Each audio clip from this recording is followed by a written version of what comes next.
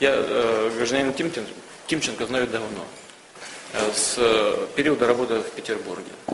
Он работал со своими друзьями и коллегами в Кирише нефтеоргсинтез, такая компания есть. Киришский нефтеперерабатывающий завод. И когда пошел процесс приватизации, они отделили свою часть, которая занималась экспортом нефти, нефтепродуктов. Просто сделали частную компанию. Где-то в, самом начале 90-х годов. И вот постепенно начали эту компанию развивать. Он пришел в бизнес не вчера, не позавчера. С первого шага, когда была разрешена приватизация. И уверяю вас, я знаю, что много пишут по этому вопросу, абсолютно без всякого моего участия. Просто они создали компанию и работали.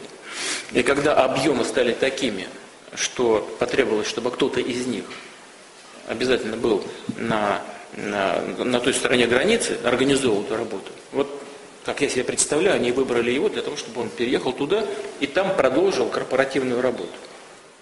Значит, и, насколько мне известно, действительно принял это финское гражданство. Но он является гражданином России.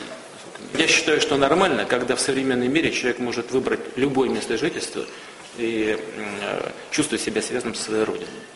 Это абсолютно цивилизованная э, позиция. Вот для такой же, как для меня, невозможно.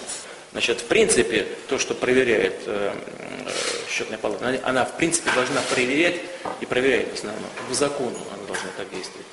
Э, траты бюджетного характера. Транснефть это коммерческая организация. Они могут проверить и сказать, да, ребята, смотрите, у вас там чего-то не бьет по экономике. А если там есть уголовно наказуемые вещи, они передают в прокуратуру. Уверяю вас, если там было что-то уголовно наказуемое, там уже сидели за решеткой люди. Мне такие встречи под выборы не нужны.